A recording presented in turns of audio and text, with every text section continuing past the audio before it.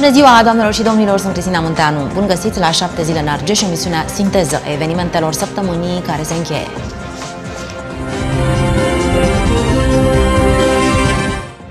6 ianuarie a fost zi sfântă pentru credincioși. Am sărbătorit Boboteaza sau Botezul Domnului, cea care încheie sărbătorile de iarnă. Oamenii au mers în număr mare la biserică pentru a lua apă sfințită și a o duce în casele lor. Se spune că aghiazma mare îi ferește de cele rele și le apără gospodăriile.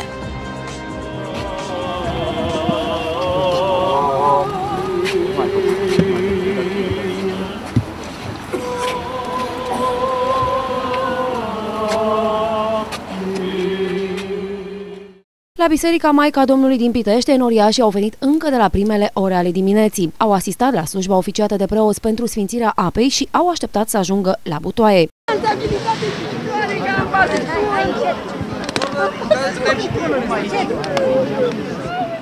Oamenii au luat aghiazma pentru a o duce în casele lor și ai ocrotit tot anul. Ați reușit, doamnă, să luați? Da, am reușit. Da, am mai fost și la Sfântul Gheorghe și acolo a fost foarte ordonat, foarte frumos. Aici s-a cam... Aici s-au cam înghesuit, dar am reușit totuși. S-a temut lumea că nu mai... Că nu mai... Da, asta e. Pentru ce Așa ați luat? suntem. Pentru sănătate, pentru tot. Al casei, ai- pentru toți membrii casei, pentru... De bună apa pentru casă, pentru familie, pentru... E bună, cum să nu fie bună? E bună, e nemaipomenită bună. Am reușit, doamnă, Cu greu. cu greu. Ce să facem? Trebuie să avem răbdare. Lumea s-a împulțit, a fost teamă că nu mai prinde aghiazma. Așa e lumea, nu știți cum este. Pentru ce ați luat? Pentru sănătate, că am și soțul bolnav, pentru toate. Nu, a fost bine, un pic așa, care au fost nerăbdători, în rest, Pentru Ce ce să- ați luat? Pentru un casă acolo, pentru sărbători, pentru ăsta, pentru E bine să ducem uh, aghiazma sfințită. în acasă, da, pentru orice, pentru sănătate, pentru toate, pentru... La Pitești, în toate lăcașurile sfinte, oamenii au venit în număr mare pentru a sărbători botezul Domnului. Un obicei inedit de bobotează se păstrează cu sfințenie în satul Cândești din comuna Albești de Mușcel. Apa sfințită este luată din râu după ce preoții o transformă în aghiazmă. Nimeni nu lipsește de la slujbă, iar fiecare localnic merge acasă și stropește gospodăria cu apa din râu. Apoi se roagă. Sfințește-mă pe mine și, ape, și apele Mântuitorule, Cel ce ridici păcatul lumii. Înțelepciune să luăm aminte. La Cândești, râul se transformă într-unul de aghiazmă în fiecare an de bobotează. Obiceiul ca preotul să ia de acolo apă sfințită să transmiți și este respectat din generație în generație. Chiar dacă sunt nevoiți să intre în apă, preoții nu au renunțat la slujba de la râu, iar pentru localnici este un moment special. E foarte bună și ține. Da, e sfințită. Da. Da, e tradiție. Da, da, da. Și bine tot satul. Tot statul, toată lumea, da. Noi de obicei, eu stau lângă biserică și uh, luăm și de băut tot de aici apă. Deci și de gătit și de băut. Nu folosim din puțul nostru. E peste tot sfințită. E cea mai bună apă, cred. corect. Da. Sunt de 56 de ani căsătorită, dar eu am aghiazmă de atunci. Și stă? Da, păi o... Nu o prepar. nepoți, la copii cu Da, copii s-au pirbit, ia, n-am anapură, n-am aghiazmă. vitele, noi, Apă și la sfințită, vin. da? da, da, Păi am că pui, bag și-mi pun. Pe să le Adică să le dăm era sănătate, să balaur, fie doar. bune. Apa sfințită ajunge în fiecare gospodărie din Cândești. Oamenii stropesc casele, dar și grajdurile animalelor pentru a le feri de boli. După slujbă, oamenii se așează la masă și se bucură de finalul sărbătorilor de iarnă, dar se și roagă pentru un an mai bun. Moldoveni, lipoveni, armeni și ruși din toată țara au sărbătorit luni seară Crăciunul perit vechi. Sărbătoarea a fost și în Argeș, acolo unde câțiva moldoveni au preparat bucate tradiționale din Republică, au mâncat și au jucat până dimineață în așteptarea lui Moș Gerilă.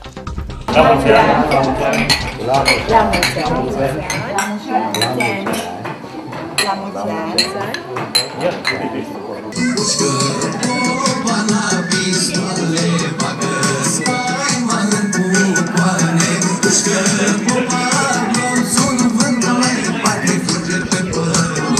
Рождеством Христовым! Chiar dacă suntem mai bine de șapte ani în România, moldovenii din Argeș nu pot renunța la tradiția pe care o cinstesc de când s-au născut și chiar dacă s-au mutat în altă țară, frații de peste Prut sărbătoresc moldovenește oriunde se duc, iar bucatele, bucatele reprezintă o concurență serioasă pentru preparatele românești. Acea salată care este tradițională și se numește șuba, este cu pește marinat adus din Republica Moldova și decorată cu icre. Piftiile care sunt din pui, mai puțin porc, noi folosim. Sărmăluțele care sunt după o rețetă la fel de la Chișinău, cu mai puțină carne, să nu facem riduri și mai mult, mai mult orez. Diferența dintre cele două sărbători nu este decât de dată, semnificația este aceeași. Diferența este că Biserica Ortodoxă Rusă încă nu a adaptat calendarul îndreptat. Biserica Ortodoxă Română, începând cu secolul 20, s-a adaptat la noul calendar iulian, care după 1582 a reparat acea diferență de 10 zile care exista între anul calendaristic și anul astronomic. Drept pentru care această diferență de 10 zile a făcut ca pentru noi, uh, românii, creștinii românii ortodoxi, uh, Crăciunul să sărbătorim pe 20 decembrie, așa cum a fost el uh, hotărât începând cu anul 372 după Hristos. Chiar dacă le este dor de casă, moldovenii s-au acomodat destul de bine în țara noastră. Ne-am strâns prieteni și mai mulți moldoveni. Așa, pentru mine e o seară de suflet, a fost și Aș vrea să mulțumesc tuturor celor care au fost lângă noi. Și așa au petrecut moldovenii cu hore și sârbe românești până aproape de zorii zilei, exact așa cum se întâmpla și peste Prut. Peste 2 milioane de români au sărbătorit ziua numelui. Ion Ioana și derivatele acestora au petrecut alături de cei dragi și au marcat astfel sfârșitul sărbătorilor de iarnă. Pe 7 ianuarie, biserica îl prăznuiește pe Sfântul Proroc Ioan Botezătorul. Astfel, a doua zi după bobotează, îl sărbătorim pe cel care l-a botezat pe Hristos în Iordan. A dus o viață sfântă și s-a retras în pustietate, rugându-se și postind. Oamenii veneau la el pentru a-i cere sfatul, iar Sfântul Ion le spunea să se pocăiască, îi îndruma să ducă o viață curată și boteza pentru iertarea păcatelor. Sărbătoarea de Sfântul Ion mai este cunoscută și sub numele de Sfânt Ion, înainte mergătorul Domnului sau soborul Sfântului Proroc Ioan Botezătorul. Se știe din tradiția tradiția populară că Sfântul Ioan este protectorul pruncilor și se mai ține pentru ca pruncii să se nască sănătoși, fără malformații sau diformi. Totodată, ziua de Sfântul Ion este o zi de bucurie, iar cine nu se veselește în această zi va fi trist tot timpul anului. Unii oameni sărbează ziua de Sfântul Ion pentru ca Dumnezeu să le ferească gospodăriile de foc și animalele de fiarele sălbatice. Se mai spune că în dimineața zilei de Sfântul Ion fiecare om trebuie să se stropească cu aghiazmă nouă pentru a fi ferit de boli în decursul anului. De Sfântul Ion se botează gerul, adică se înmoaie frigul și începe să se facă mai cald. Aproape 2 milioane de români își sărbătoresc ziua onomastică pe 7 ianuarie, iar pe această cale, colectivul Antena 1 Pitești le urează tuturor sărbătoriților un călduros la mulți ani. Peisaj de primăvară pe râul Argeș, mii de păsări atrase de temperaturile ridicate stau de câteva zile în zonă și atrag privirile curioșilor. Specialiștii spun că rațele, lișițele și gâștele sălbatice au ajuns în zona de sud pentru că aici iarna a fost mai ușoară. De gerul Bobotezei au fost 15 grade Celsius, mai cald ca oricând.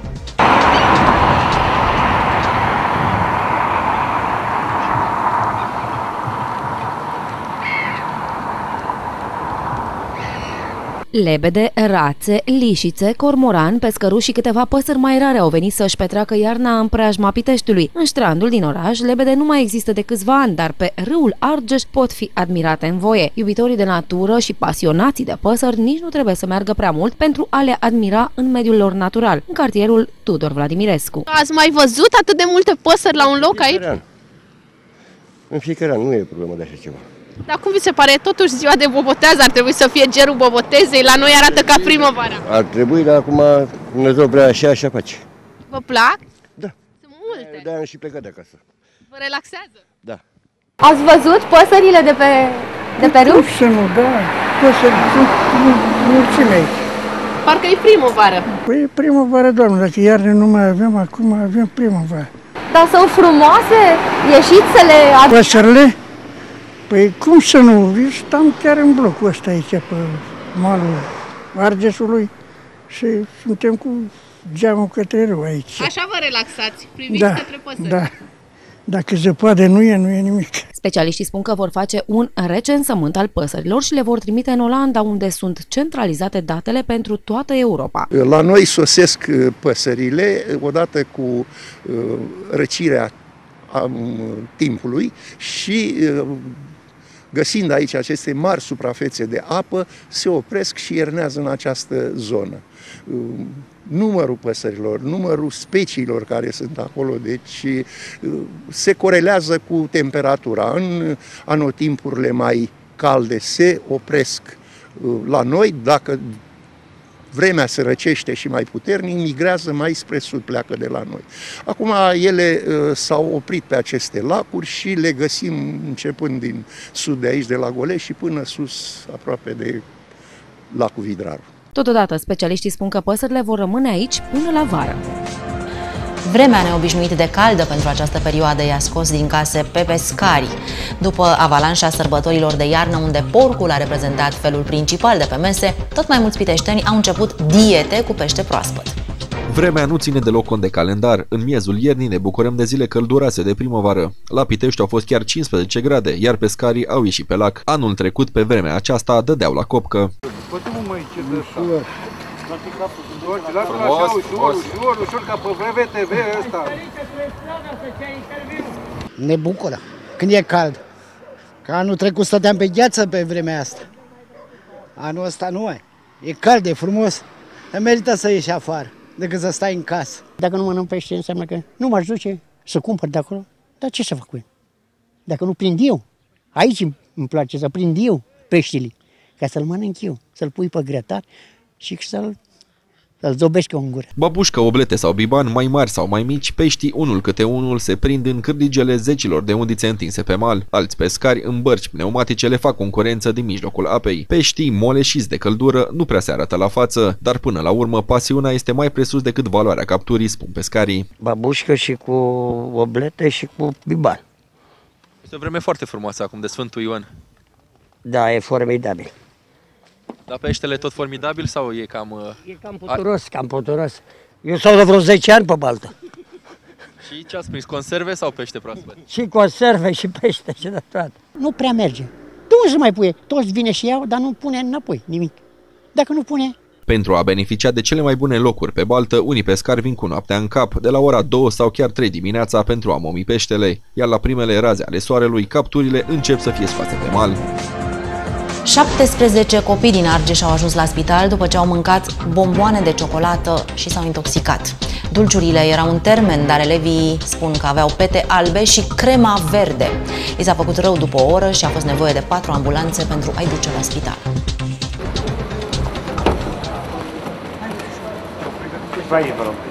Haideți! Haideți! Copiii au fost serviți cu bomboane la ora 8, iar apoi unul dintre elevi a plecat spre casă motivând că se simte rău. Rând pe rând, elevii de clasa 6 au început să spună că îi doare burta și să verse. Speriați, profesorii i-au dus la dispensarul din sat pentru că la școală nu există cabinet medical. Le aveau pete, nu erau Probabil că au fost simte la căldură, după aceea... Au fost, aveau pete albe, așa de Da, alburii, așa. Și înăuntru unii copii care spuneau că ar fi fost un pic uh, verde, ceva, o culoare oricum dubioasă. Ce simptome e asta? Uh, cu cefalee, cu colică abdominală, cu amețeli. Starea generală deocamdată este bună, nu ridică probleme. Dar se presupune că este o toxinfecție alimentară de la bomboane. Părinții au aflat ce s-a întâmplat de la dirigintele copiilor. Imediat după ce au fost sunați, oamenii au venit într-un suflet la spital. V-a sunat fata de dimineață? Da. Și ce v-a zis? A zis că e rău să se toți copiii, că am mâncat bomboane. V-ați speriat? O că când am auzit, m-am venit aici să vedem care e treaba. Cu rău la școală, ce v-a zis? Am mâncat o bomboană de la o colegă. Și de la o bomboană i s-a făcut rău? Da, da. Dar v-a sunat să vă spună? Sunt mătușa lui, nu sunt uh, mama. Și v-a sunat să vă spună da. că e rău? Nu ne-a sunat, ne-a sunat de la școală. Ce v-au spus? Că se simte că rău? se simte rău, da. Și v-au spus ce simptome are? Ați vorbit cu băiețelul? E că bine? doare capul și că îi vine să vomite. Dar e mai bine acum, da, nu? Da, da. A fost nevoie de două ambulanțe smurt și alte două ale serviciului de ambulanță pentru a aduce pe copii la spital. Medicii din toate secțiile au fost chemați pentru a putea face față urgenței. Ne-am mobilizat rapid, am chemat medicii de pe secție cu asistentele, le-am dat ajutor și s-au rezolvat toți copiii. Uh, Toți vor merge la contagioase, în afară de unul care n-a mâncat, n-a consumat bomboane, în rest și 2-3 care sunt în supraveghere și n-au nimica. Restul, 5-6 deja au și plecat, cei care aveau uh, uh, durere abdominale, senzație de vărsătură și urmează să plece și următori. 14 elevi au fost transferați la secția de boli infecțioase a Spitalului din Pitești. Cutia de bomboane a fost ridicată de inspectorii DSV responsabili de siguranța alimentelor care le vor analiza pentru a stabili ce problemă au avut dulciurile. Salvare spectaculoasă a unui bărbat căzut într-un canal tehnologic din comuna Mărăcineni. Omul a alunecat și a rămas cu fața în jos, prins în stufărișul din canal. Pompierii sosiți la fața locului au avut o misiune foarte grea.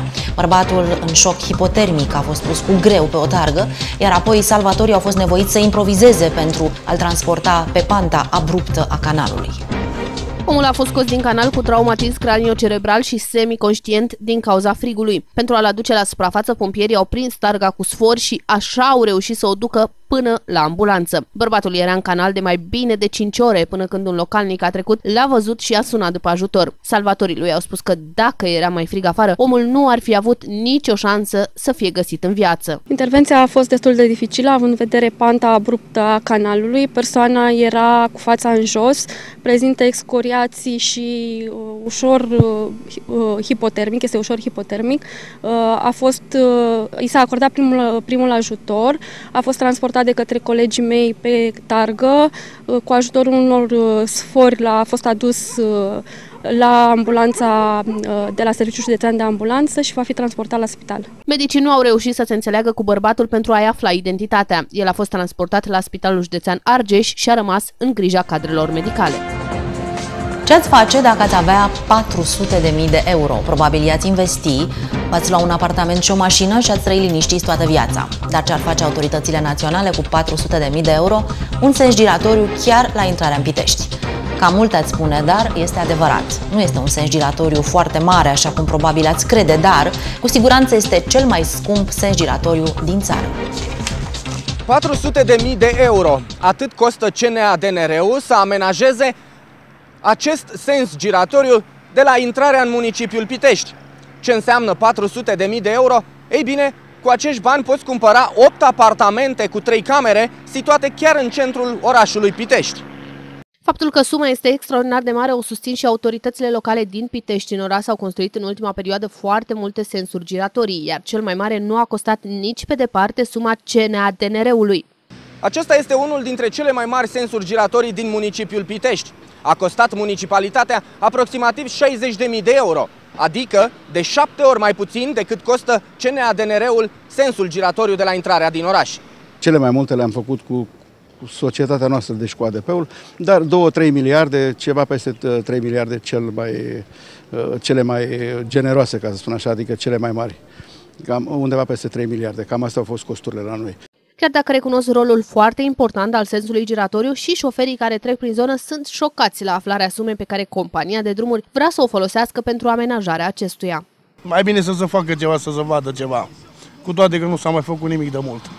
Cel puțin să avem siguranța circulației, siguranța vieții.